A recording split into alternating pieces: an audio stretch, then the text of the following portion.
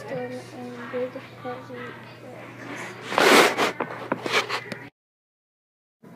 What is a blizzard? Blizzards are a dangerous winter storm and big, heavy winds.